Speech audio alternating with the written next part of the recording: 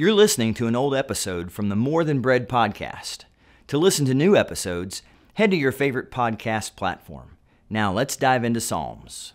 Hey, welcome to episode number 152 of More Than Bread, a, a 20 minute or so deep dive into scripture about five days a week. I, I read the scripture, make a few comments, read the scripture again, because the most important thing is not my comments, but the the Spirit of God breathing life into the people of God through the Word of God. So I read the scripture twice and then I pray for you. During this chapter, we've been in the Psalms, my top 40 Psalms out of 150. Actually, when we're done, it'll probably be more like 44 or 45 because we've added a few along the way. For this episode, we're back again in Psalm 139. Psalm 139 is part of my biblical core. What do I mean by that? Well, the whole Bible is valuable, right? I've read the whole thing multiple times, but even though I've read the whole thing, I don't know the whole thing as well as I know parts. There, there's parts of scripture that God keeps drawing me back to over and over and over again. That's my core. You have a core. If you identify you have a biblical core. My biblical mentor is Moses. He's part of my biblical core. If you don't have a biblical mentor, you should. There, your mentors don't have to be alive. I go back to Moses over and over. I go to his life and his writings so much. I know his story better than anyone in Scripture other than Jesus. Ephesians, the book of Paul, the letter of Paul to the church at Ephesus, is part of my core. The Gospel of John is part of my core. The book of Daniel is part of my core. And there's some Psalms that are in my core, like Psalm 51 and Psalm 139. I, I come back to 139 a lot. So let me read it again from the New Living Translation. And as I read, I, I want you to keep coming back to this thought for this episode. It's this God offers us a personal relationship with Him. Listen, oh Lord, you have examined my heart and you know everything about me. You know when I sit down or stand up, you know my thoughts even when I'm far away. You see me when I travel and know when I rest at home. You you know everything that I do. You know what I'm going to say even before I say it, Lord. You go before me and you follow me. You place your hand of blessing on my head. Such knowledge is too wonderful for me, too great for me to understand. I can never escape from your presence. I can never escape from your spirit. I can never get away from your presence. If I go up to heaven, you're there. If I go down to the grave, you're there. If I ride the wings of the morning, if I dwell by the farthest oceans, even there your hand will guide me. Your strength will support me. I could ask the darkness to hide me and the light around me to become night. But even in darkness, I cannot hide from you. To you, the night shines as bright as the day. Darkness and light are the same to you. You made all the delicate inner parts of my body. You knit me together in my mother's womb. Thank you for making me so wonderfully complex. Your workmanship is marvelous. How well I know it. You watched me as I was being formed in utter seclusion, as I was woven together in the dark of the womb. You saw me before I was even born. Every day of my life is recorded in your book. Every moment was laid out before a single day had passed. How precious are your thoughts about me, O God? They cannot be numbered.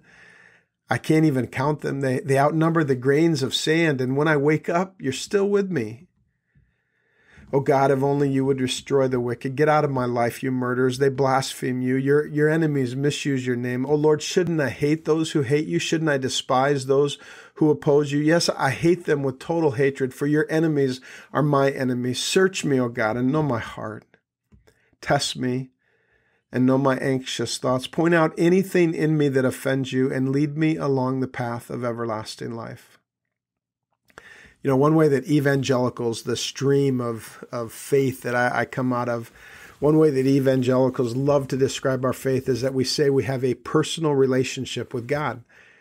Now, those four words, personal relationship with God, they slip off our tongues with ease. It's not about religion we proclaim, it's all about relationship, a personal relationship with God. Becoming a Christian is all about having a personal relationship with God. And, and to be honest, I like the description. We were made for relationship, we're made for community, and we're made for God. But have you ever stopped to consider kind of how odd that phrase, that invitation sounds? Would you like to have a personal relationship with God?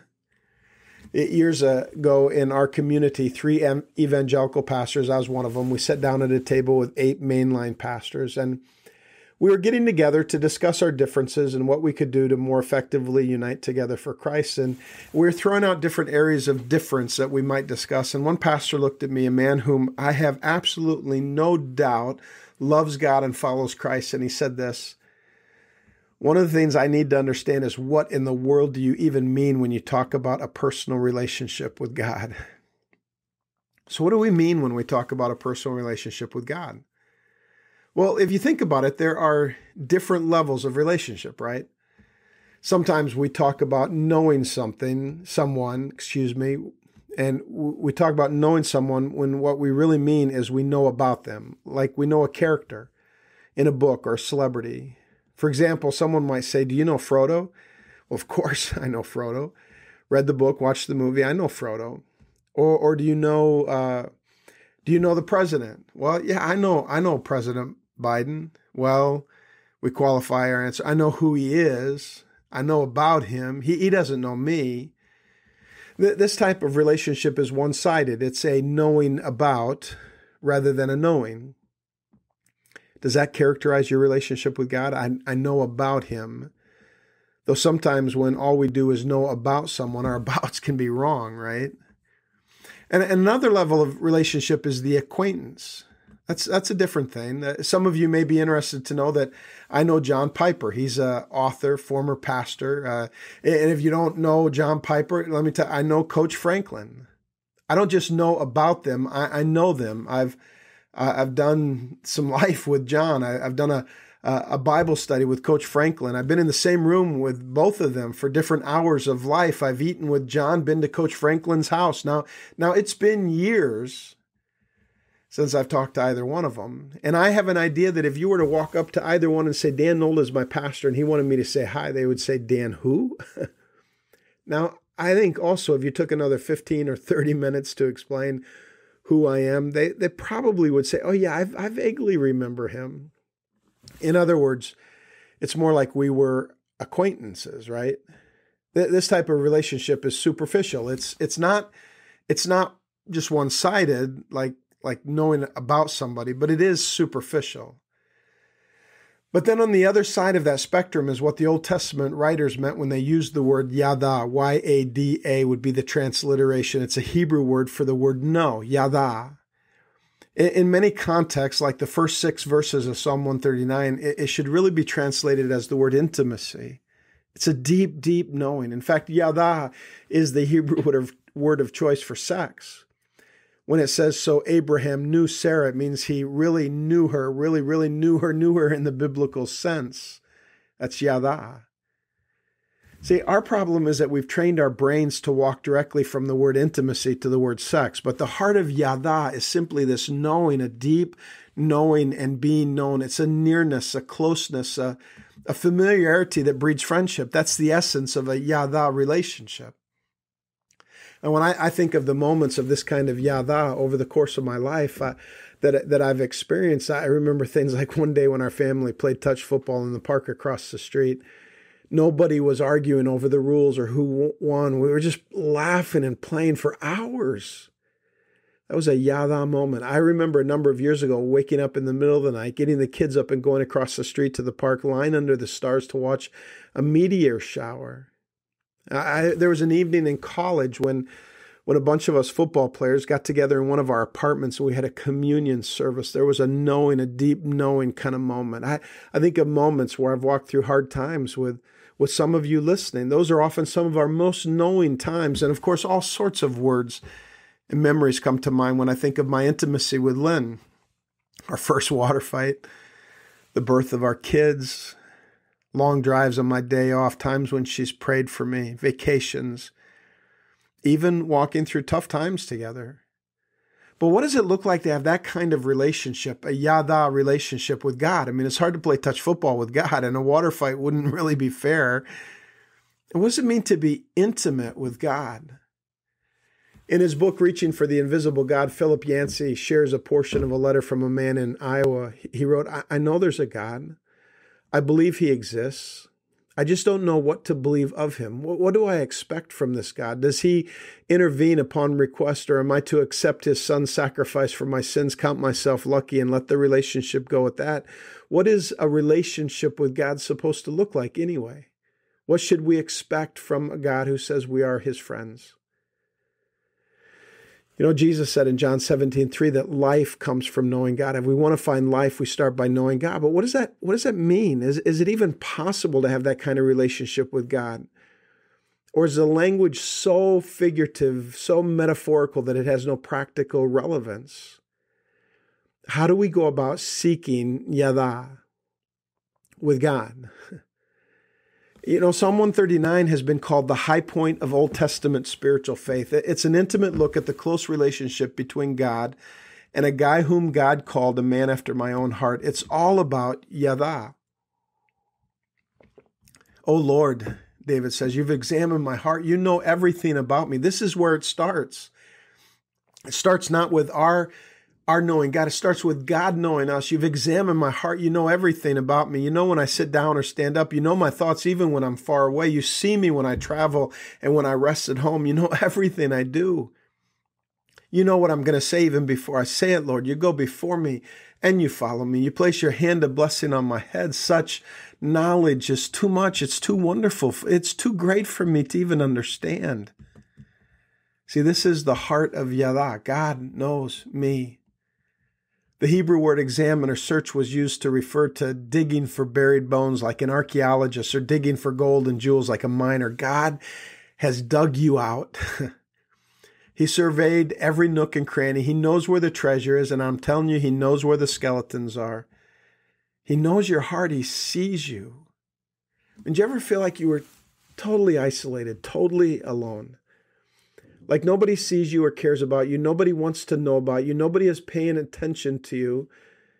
John Ortberg writes Attention is one of the most powerful forces in the world. It's one of the supreme ways of saying, You matter to me. Do you understand? God pays attention to you. God, God knows when we sit and when we stand. His eyes were on you yesterday when you sat down to take a break, and He knows your schedule, how busy you are, all of the places you have to go, and the things you have to do.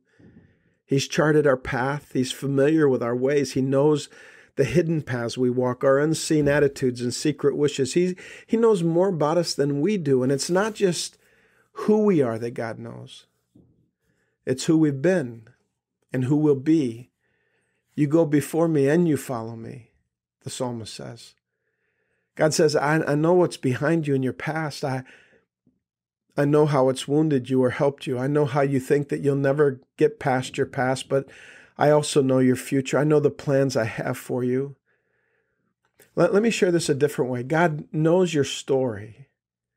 I mean, isn't that what we do when we want to know someone? If we're really interested in knowing someone, not just knowing about them, we ask them to tell us their story. And it's not just the facts, it's it's the story. We know objects by characteristics, but we know people by their stories. And I'm telling you, God knows your story. Every page of every chapter, the highs and the lows, the success and the failure, the sins, the hurts, and the glory. And He loves you. He loves you. No one knows you better or loves you more. Do you know what that means? It means you can be still. Psalm 46 says, Be still and know that I am God. If you want to know God, being still doesn't mean be quiet so much as it means stop striving. You you don't you don't have to earn his love. You can't, but you don't have to. Stop striving, be still. He knows you and he loves you. Don't hide from God. Be honest. He already knows and he still loves you. But but it goes even beyond that. He not only knows you, he's near, he's with us.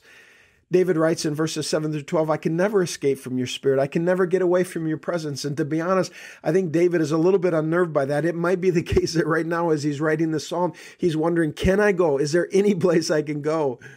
And you don't see me, you don't know me. I, would I'd like to get a, a little bit of a distance right now. But but instead, he says, if, if I go up to heaven, you're there. If I go down to the grave, God, you're there. If I ride the wings of the morning, if I dwell by the farthest oceans, even there your hand will guide me. I could ask the darkness to hide me, the light around me to become night, but even in darkness I cannot hide from you. To you, the night shines as bright as the day. Darkness and light, they're the same to you. well, I didn't think I was going to do this, but like Psalm 51, Psalm 139 is part of my biblical course. So we're going to get a third episode on Psalm 139. And for now, I just leave you with this thought that God knows your story and God is near. He's not far. You're not far away from God. Your, your back may even be turned to Him, but you're not far from God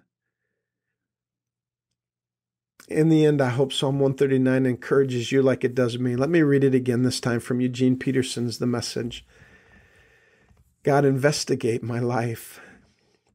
Get all the facts firsthand. I'm, a, I'm an open book to you. Even from a distance, you know what I'm thinking. You know when I leave and when I get back. I'm never out of your sight.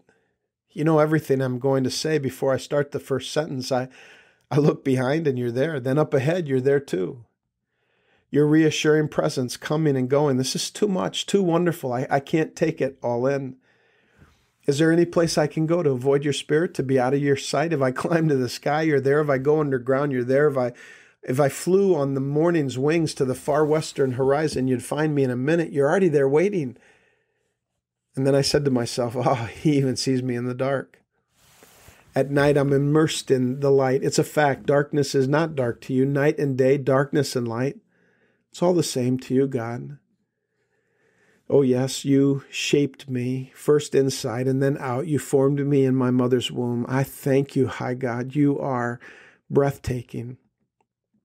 Body and soul, I am marvelously made. I worship in adoration. What a creation. You know me inside and out. You know every bone in my body. You know exactly how I was made bit by bit, how I was sculpted from nothing into something. And like an open book, you watched me grow from conception to birth. All the stages of my life were spread out before you, the days of my life all prepared before I'd lived even one day. Your thoughts, how rare, how beautiful. God, I'll never comprehend them. I couldn't even begin to count them any more than I could count the sand of the sea. Oh, let me rise in the morning and I'll always live with you. And please, God, do away with wickedness for good. You murderers, out of here. All the men and women who belittle you, God, infatuated with cheap God imitations. See how I hate those who hate you, God. See how I loathe all this godless arrogance. I hate it with pure, unadulterated hatred. Your enemies are my enemies. Investigate my life, O oh God.